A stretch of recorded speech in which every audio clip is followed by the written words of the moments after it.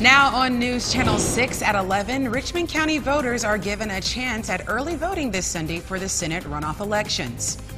Plus, small businesses were celebrated today, and we hear from shop owners. And how you can prevent scammers from making your holiday cheer into a holiday fear. Live from Television Park, this is WJBF News Channel 6 at 11.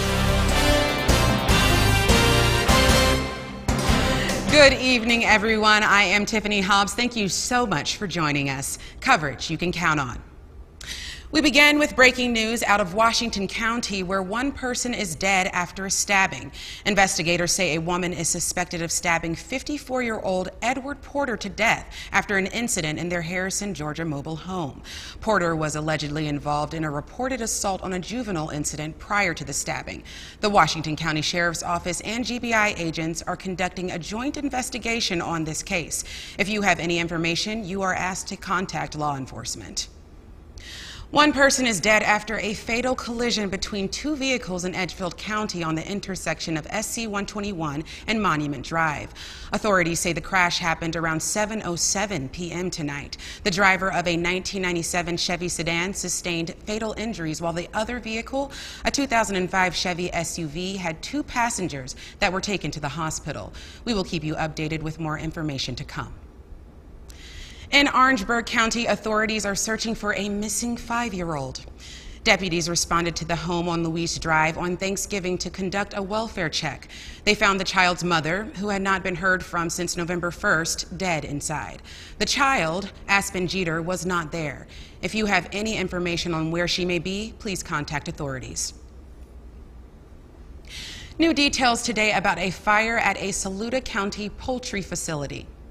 We told you about the incident Thursday night. The fire at Valley Proteins Incorporated in Ward, South Carolina burned for a number of hours but was finally extinguished late Thursday night. The company that owns the plant says about 160 people work at the facility. No injuries were reported. They don't expect any layoffs at this time. And now, let's take a look at our weather with Chief Meteorologist Tim Miller.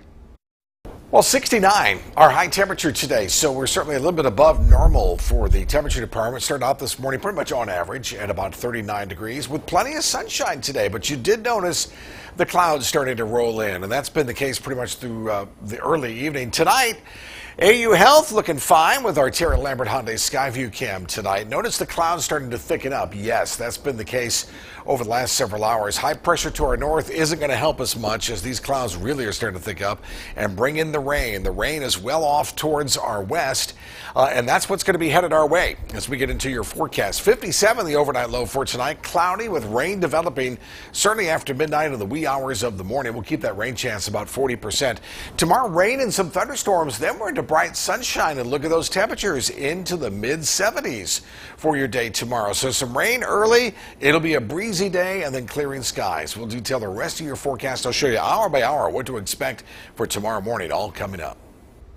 Happening tomorrow, Richmond County voters will get another day to vote in the runoff. The Richmond County Board of Elections voted on Monday to expand early voting that will now begin tomorrow. This comes after a Fulton County judge ruled in a lawsuit brought by U.S. Senate candidate Raphael Warnock and other Georgia Democrats, leaving the matter up to individual counties. Richmond County is the only one in our area that will be open this weekend for early voting. Days like this is why voting is so important because each member of that Board of Elections is appointed by an elected official. And, and those folks are supposed to represent what we want as a community. And so today is a win, it's a small win. We have much more work to do going forward. All four early voting locations in Augusta will be open Sunday, November 27th from 9 a.m. to 5 p.m. All other Georgia counties began early voting on Monday. Coverage you can count on continues in Augusta, where local businesses are recognized nationally at Soul City Small Business Saturday. This initiative supports roughly a dozen downtown businesses. News Channel 6's Bria Smith has more. We have a lot of businesses down here, and you know, once you come down here, you'll see what all we have available. This day for most is one they look forward to every year. Today is like our day Owner of Foss clothing brand Jawan Tolbert says he's an Augusta native. So my brand represents Augusta. So the F fashion something we take serious here in Augusta. Athletics uh, is very heavy here in the Augusta area, the Augusta community, and that urban society comes from all the nightlife, the entertainment, to the music, to all the events that takes place in the Augusta community. And at a time where the country faced an unprecedented time during the pandemic, other local business owners got creative. After I served in the Army for six years, I got out, pandemic hit, I became a mom all at once, and I needed to figure out how to pivot and you know provide for my family. Jenna Barrios is the owner of From Us to You. From mugs to candles to journals, um, so it's it's been a blessing. It's been a great journey. So when you buy something from a small business, you're supporting your local community. Um, the taxes that you know the community gets from that goes back into the community, um, and you're support you're helping support a family, like a tangible family that lives in your community, like your neighbor. It's insane. Owner of 1028, Natanya Tillman says her business helps other businesses bridge gaps. Neat thing about our city club though is that we focus a lot on small business owners. So small business owners that are members of the club can choose to participate in our retail, in a retail experience. It allows them opportunities to get new clients, our customers, um, to sell their products, make money, and push their customer base. Business owners say Augusta has been a great place to grow their business. In Augusta, Bria Smith, WJBF, News Channel 6. Now that Thanksgiving is over, you are probably busy getting your holiday shopping done, but you still have to watch out for those Grinches stealing your hard earned money. Sean Lewis takes a look at what you need to know. It's no secret that this weekend is the big weekend. The National Retail Federation says more than 166 million Americans will shop this weekend alone, opening the door, unfortunately, to scams and bad businesses. So you have to do your due diligence. And Steve Bernas runs Chicago's Better Business Bureau and sees buyers every day get taken in, especially with online shops, many of them with ads on social media. so you have to be careful. You have to do the research about them. You just don't do business with somebody that just shows up at your door either. The same thing you wouldn't do online. It goes without saying to do some research for both online stores and brick and mortar. When you're shopping, especially with small businesses, ask the important questions like about returns and exchanges. I think consumers automatically think it's a right to take things back, you know, whatever time it may be. Refunds and exchanges is just a privilege, not a right. So you have to ask that question ahead of time. Another key piece of advice comes down to payment. Use a credit card, he says, whenever possible to protect yourself. Our sources say about $390 million has been uh, listed on our scam tracker of lost revenue so far from consumers. So a lot of times we're seeing what's out there is a lot of fake websites or websites that look too good to be true, and they usually are. As they say, buyer beware, both online and in person. Shop smart, um, but also pay attention uh, things around you because there's also the criminals that are out there who are trolling around, whether it be offline or online, trying to take advantage of the holiday spirit. Coming up, Chief Meteorologist Tim Miller is back with your Viper 6 forecast. And a rescue at sea takes place for a Carnival cruise guest. More on that when we return.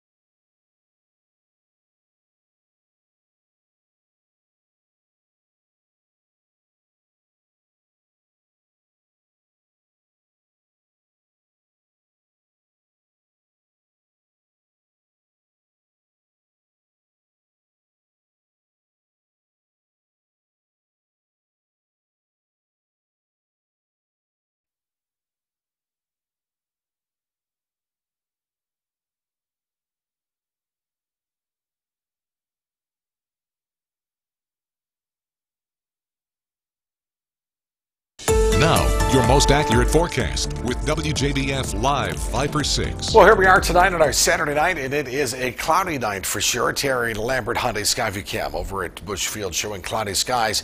Not very windy now, but boy, that's going to be changing as the winds will start to pick up as we have a cold front that's headed our way, a system that's moving very rapidly towards us. So some rain, and I'm going to even say some thunderstorms tomorrow. So don't be surprised if you hear a rumble of thunder.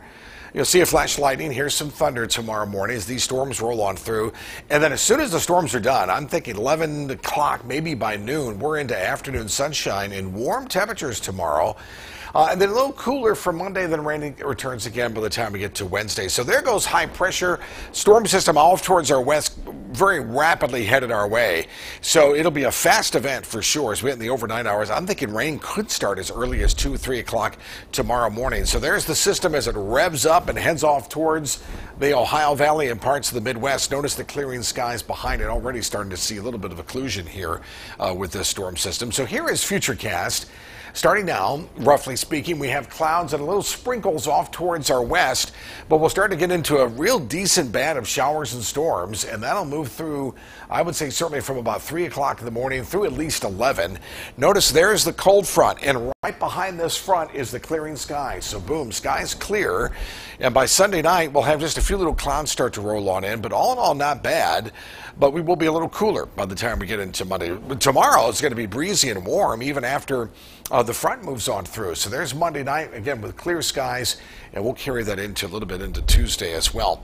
So here is Futurecast already dealing with a little light showers now, but we'll increase these showers as we get to the wee hours of the morning. So two, three, four o'clock light showers. And you'll notice here, here's 5 o'clock, a decent band of showers and some quick heavy downpours. And I'm even going to tell you, I think a rumble of thunder in this. Not looking for anything severe, uh, as this system isn't going to, ha- it's going to missing some dynamics for severe weather here, which is good. Nobody's complaining about that. But there's 7 o'clock. Notice there's 8 generally speaking, right through the central part of the CSRA, and then this moves off towards the east towards our eastern viewing area and places such as Columbia and the Midlands. Notice we'll start to clear out by about 9, 10 o'clock on Sunday morning. All the rain activity moves towards the east, and then there's our clearing skies. I'll take it all the way through Sunday night. I mean, it's going to be lovely. So don't let tomorrow morning fool you as far as um, the whole day, because it will not be a washout. Uh, rain will only be about a quarter of an inch at best. Here we are with winds, though. Winds tomorrow are going to be an issue. If we're into Sunday morning through Sunday afternoon, notice we're going to get some gust up to about 40 miles per hour. There's Aiken about 40, and we'll continue sort of a breezy day as we get through uh, tomorrow. Rain totals, yeah, again, about a quarter of an inch. I don't really see much with this as this thing is moving very fast. 76 tomorrow. How about that? We'll flip those numbers for Monday, but still well above average of about 67. Cloudy with rain tonight. We'll be in the mid 50s. Rain will start really after midnight in some areas. Rain in the morning and then afternoon sunshine. Mid 70s will be our high temperature temperature for tomorrow, well above where we should be for this time of year. 10 day Viper Alert forecast cooler on Monday and Tuesday. Wednesday, we'll have some showers, then a real cool down for Thursday and Friday. Stay with us for tomorrow morning. Sherry will have the very latest during Good Morning Augusta. Thank you, Tim. A miraculous rescue at sea after a guest on a Carnival cruise ship fell overboard. Deirdre Bolton has more on that. The dramatic rescue captured on camera. The Coast Guard spotting the 28 year old cruise ship passenger with his head barely bobbing above the water. the. Frantically waving his arms, hoping to be spotted. To be out in the middle of the ocean, uh, treading water for upwards of 15 hours, is simply incredible. The circumstances around the fall still unclear. The Carnival cruise ship Valor First alerting the Coast Guard of a possible man overboard around 2 p.m. Thursday after his sister alerted the ship that he did not return to his room the night before. We essentially came up with a search plan uh, to kind of systematically cover um, the ocean looking for for the individual who we assumed had fallen overboard with no life jacket um, and no means of you know keeping himself afloat other than treading water. He was eventually spotted by a bulk carrier approximately 20 miles south of Southwest Pass, Louisiana. He did show signs of you know shock and fatigue and dehydration. Um, so they ended up meeting emergency medical services stateside uh, where he was transported to a higher level of care. In a statement, Carnival says the ship retraced its route to support the search and provided support to the family members who were sailing with him and who remained on board. The ship was released by the Coast Guard and continued its journey to Cozumel. Deirdre Bolton, ABC News, New York. After our break, we have the latest on the deadly shooting at a Virginia Walmart. But first, the winning numbers for tonight's South Carolina lottery are pick 3, 4, 9, 8, and the fireball is 8. And the pick for winning numbers 8, 6, 3, 6. The fireball is 8. The Palmetto Cash 5 numbers 10, 23, 26, 31, 35, and the power up is 2.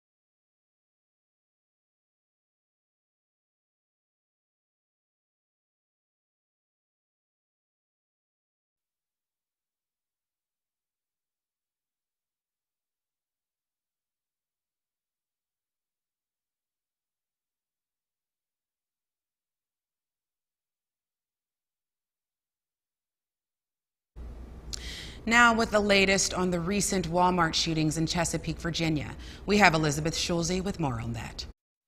Authorities say the Walmart supervisor who allegedly shot and killed six of his coworkers at a store in Chesapeake, Virginia, left a message on his phone titled Death Note, in which he complained about his colleagues and referred to murder. Witnesses tell ABC News the gunman, Andre Bing, appeared to be targeting specific employees. He knew when we were in the break room starts 10 o'clock every night. The youngest victim, 16 year old Fernando Chavez Barron, his family holding a memorial in his honor. Fernando is my friend, best friend, everything.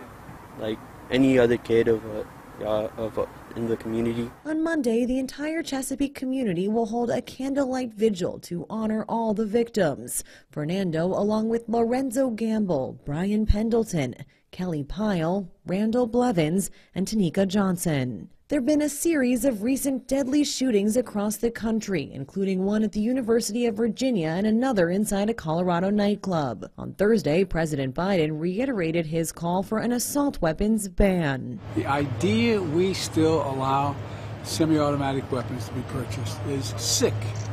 It's just sick. It has no, no social redeeming value. Zero, none. But investigators say the gunman in the Walmart shooting used a 9mm pistol he purchased legally just hours before the massacre. Police say they recovered the box and receipt for the weapon, along with ammunition from inside his home. Elizabeth Schulze, ABC News, Washington.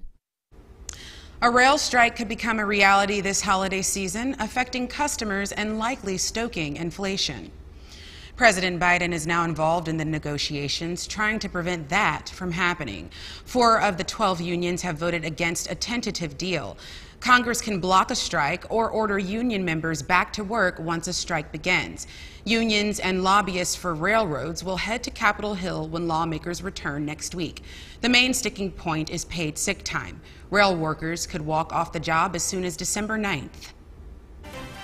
Coming up, rivalry week in college football as we look at Georgia Tech versus Georgia. And South Carolina shocks Clemson in Death Valley.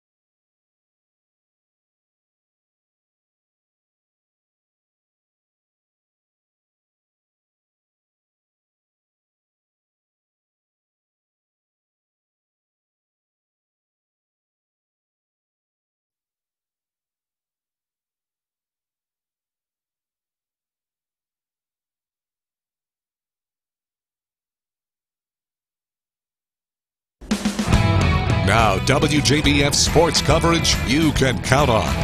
Clemson and South Carolina meeting for the 119th time on Saturday, a rivalry that dates back to 1896, but it's been all Tigers the last decade. Last win for the Gamecocks came in 2013, seven in a row for Clemson over USC. Not to mention that 40 game home winning streak, haven't lost at home since 2016 to Pitt, but Beamer Ball had the Gamecocks believing that they could do it. Second quarter, South Carolina down 14 nothing. Fourth and goal, Beamer goes for it. Spencer Rattler delivers. Finds Juice Wells in the back of the end zone for the touchdown. Carolina down 14 7. Special teams were a problem for Clemson all day. Will Shipley fields a kick, a little trickeration. Uh, they huddle up, eventually ends up in the hands of Phil Mafah, but then it eventually gets fumbled and ends up in the hands uh, the Gamecocks. Bizarre play. Not sure they needed that. But ensuing drive for Carolina, second and goal from the four. Rattler was spinning it and running it. Powers through the goal line for the touchdown. Carolina down 16-14, third quarter. Down 30-21, second and seventh from the 28. Rattler rolls right, and guess who? Juice Wells again walks in for the score. USC down 30-28. They get a 35-yard go-ahead field goal from Mitch Jeter to take the lead in the fourth quarter. That's where we go. 31-30. Clemson down. First and 10 from their own 24. DJ Uiagalelei did not have a great day. Going deep, but picked off by Marcellus Dial. No return yards on the play. Just over two minutes left. Same score. Clemson, again, the special teams. Antonio Williams on the return coughs it up, and Carolina would get the first down and hold on. They win 31 to 32nd straight win over a top 10 team.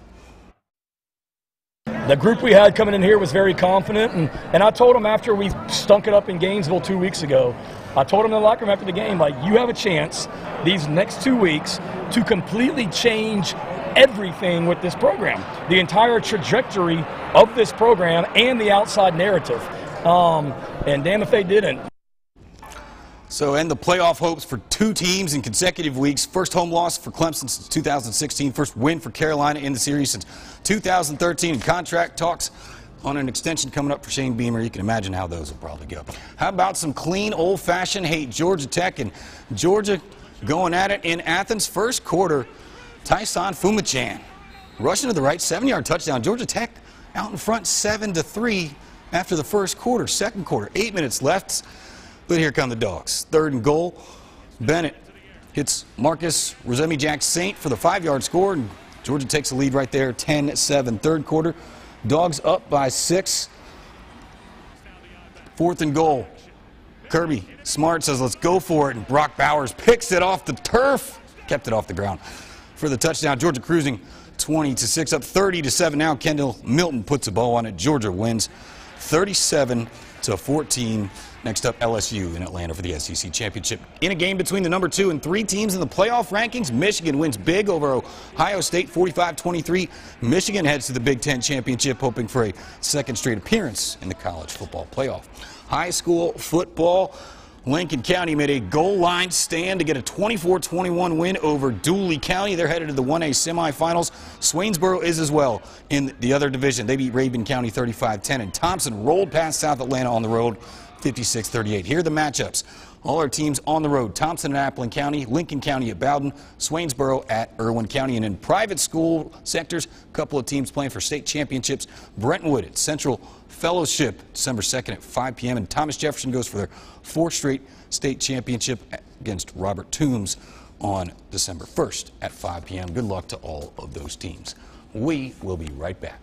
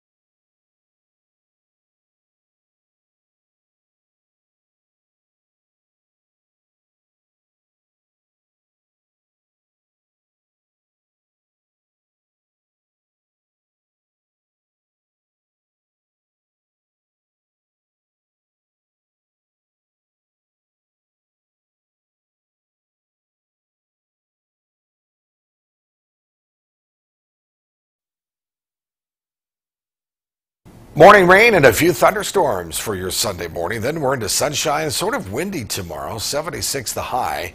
We'll flip those numbers for Monday with sunshine 67. Then our next rain chance comes Wednesday, back to the 70s again. And then we're back into the 50s as cold front moves through. That's your forecast.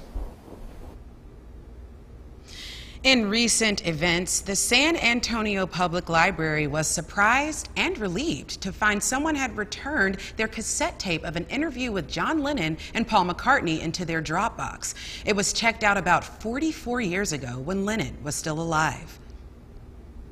That's our report for now. Thank you so much for watching, and be sure to download our mobile app for breaking news and weather. Have a good night.